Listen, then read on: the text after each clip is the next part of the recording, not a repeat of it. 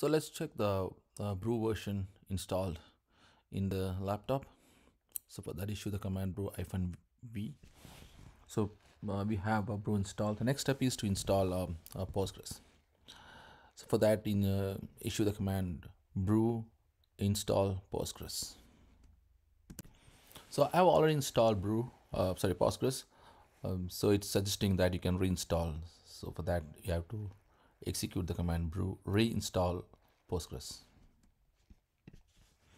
So we successfully installed a Postgres database on the machine.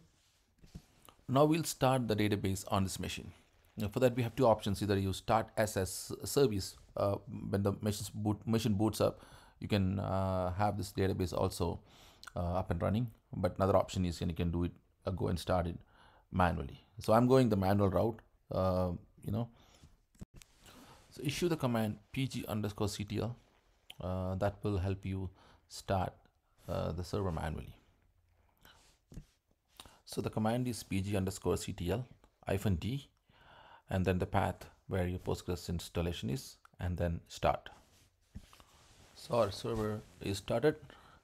Now I'll go and uh, stop the server. So the same command, um, uh, but just instead of start, you're going to put stop. Uh, let us start the server. Um, it was for a demo. I just showed you how to stop it. Uh, we need the server to be running. So let's start it. To start the uh, Postgres prompt, we should issue this command psql postgres. Now we are in the shell, we can execute the uh, commands. So uh, to list the number of users, we'll use backward slash du. By default, you will see one user created. That's the admin user of this um, machine. Now let's create a, a user, uh, which is I will I'll create as an SQLi user. So the user got created, and now list the users.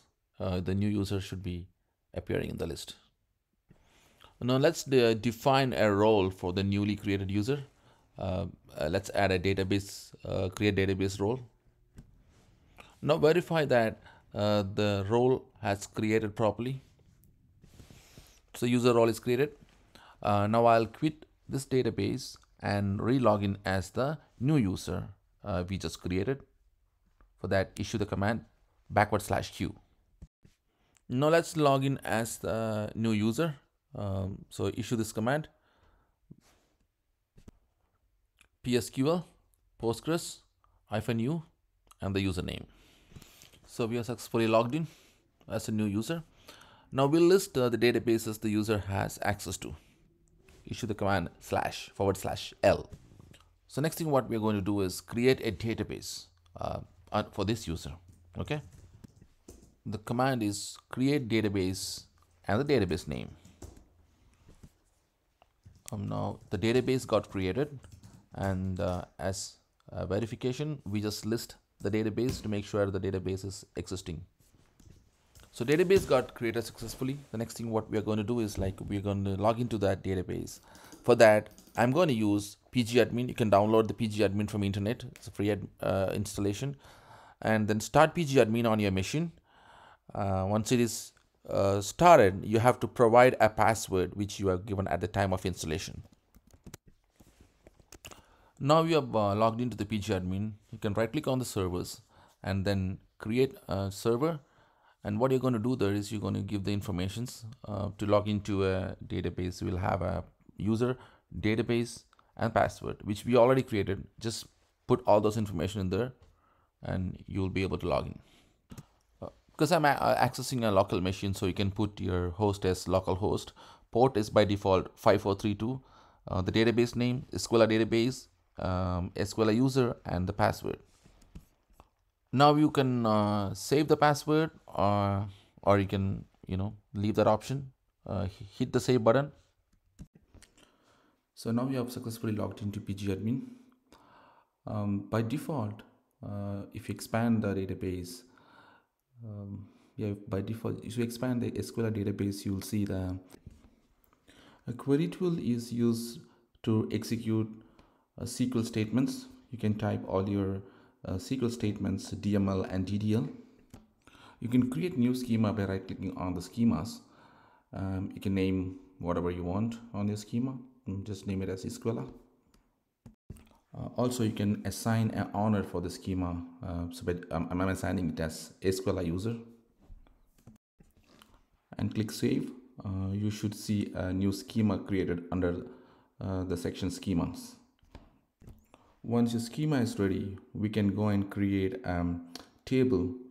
So expand the schema then you will a section called uh, tables and right click and create table. So now you can create table uh, create a table give a table name and then define your columns. Um, it's just just like any other relational database. So it's all pretty straightforward you can select any uh, data types um, same like in any, any other um, uh, relational database. Uh, so I'll, I'll I'll use my columns as uh, username and password. So um, um, I'm going to select this data data type as uh, a character. So char and which is equal to varchar in Oracle.